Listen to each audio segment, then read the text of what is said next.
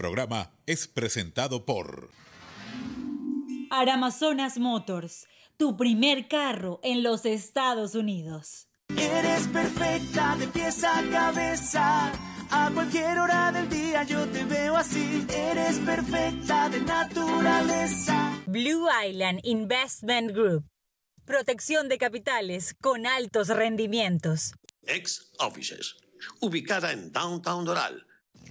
Mipapaya.com, la forma fácil, rápida y segura de enviar dinero. Visita mipapaya.com.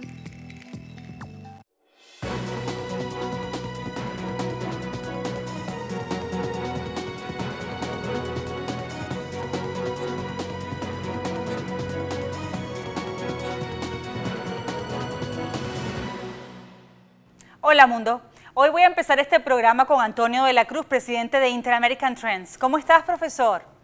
Muy bien, Carlos, un placer estar contigo. Igual para nosotros recibirte. Yo quisiera que esto fuera bastante didáctico, si, si me lo permites, y tienes la paciencia de instruirnos a quienes no tenemos profundidad de conocimiento en estos temas económicos y sobre todo vinculados a la energía, al petróleo.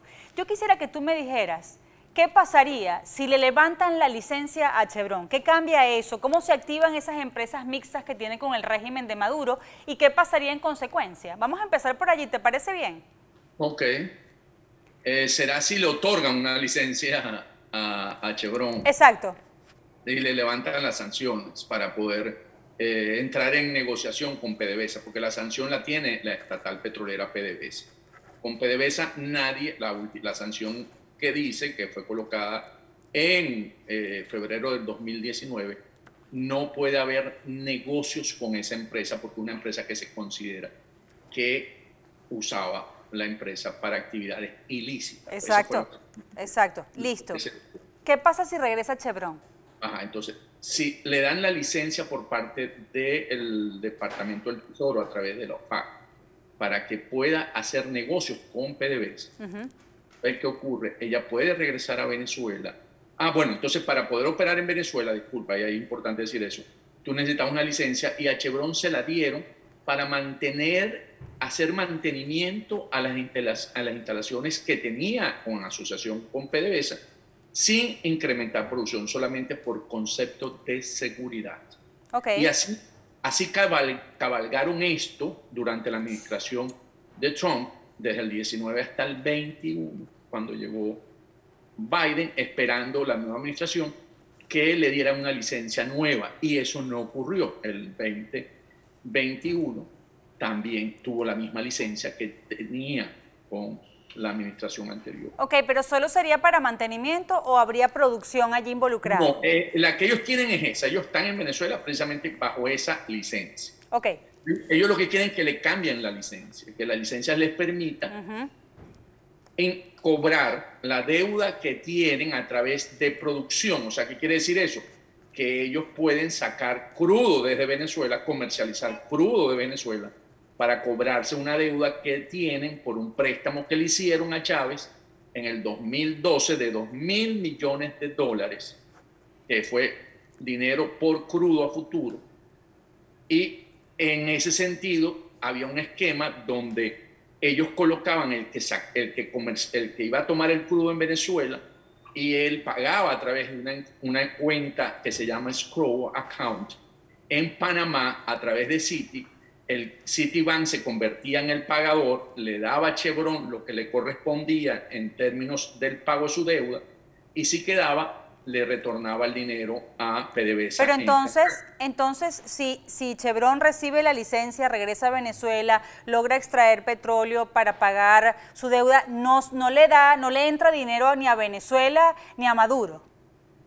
Ese, ese es el, concepto que tienen, pero mientras tengan una relación en las asociaciones de un 40% de las acciones pertenecen a Chevron y un 60% pertenecen a PDVSA, el que toma la decisión es el que tiene la mayoría, que fue lo que pasó con Chevron. Hubo un momento determinado cuando las sanciones, ellos, el régimen de Maduro consideró que le estaba afectando y le dijo, ya no le entrego el crudo a tú, al que viene a buscarlo por ti.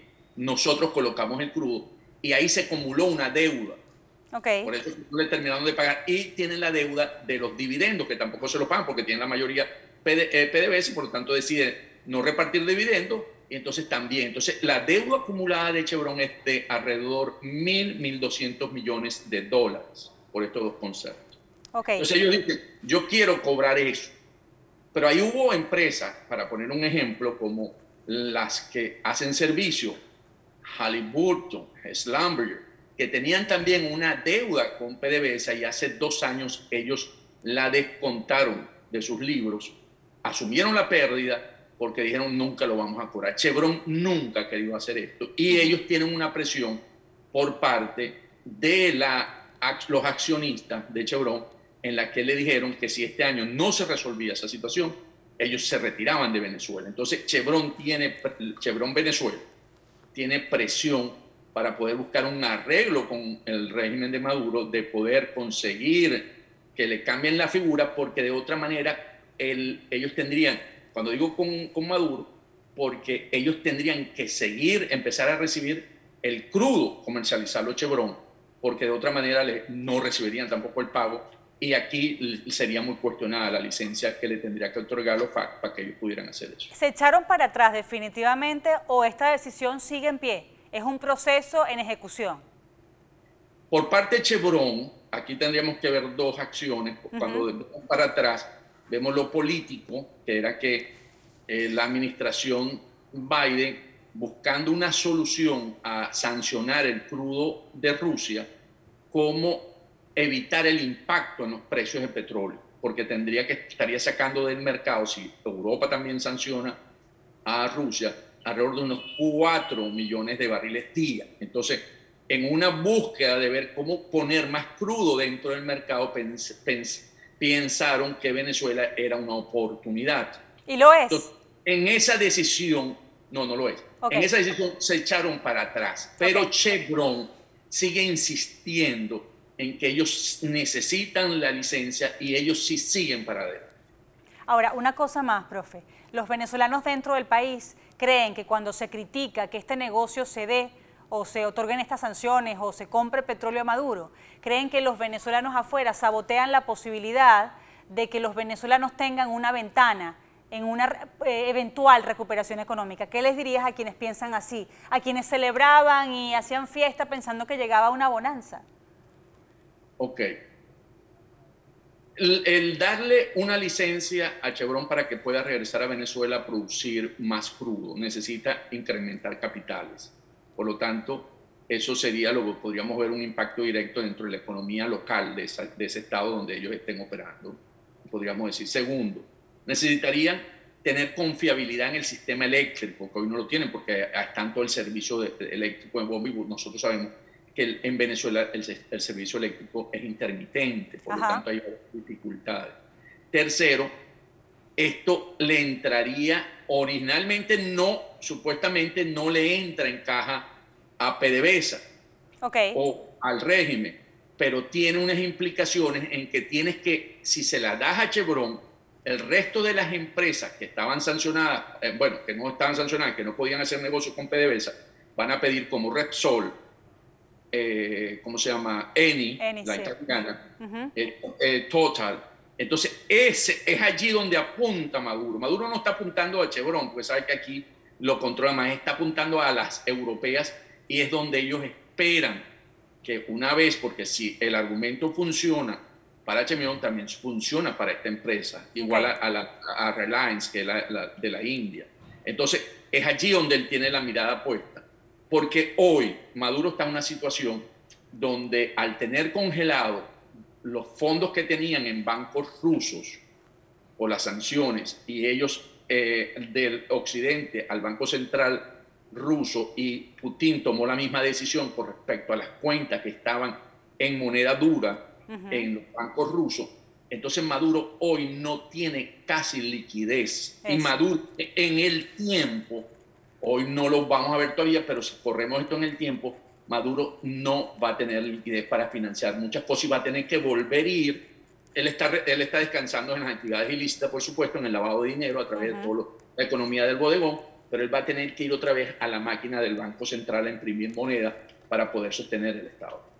Profe, como siempre, muchísimas gracias por esta explicación. Antonio de la Cruz es presidente de Interamerican Trends y siempre nos ayuda con estos temas que muchas veces yo sé nos resultan, y me incluyo, complejos. Voy a hacer una pausa. Voy a recordarles que si tienen que hacer envíos a Venezuela, acá export.net tiene una mm, logística, una infraestructura disponible justo para eso, porque si usted envía desde otro país que sea, que no sea Estados Unidos, desde otro estado que no sea la Florida, va a encontrarse con más gastos, va a salirle más costoso. En cambio, si usted compra en sus páginas favoritas y luego lo envía todo al warehouse de K-Export, allí va a tener la oportunidad de que ellos reempaquen todo aquello, sea menos el volumen y va a ser más económico el envío.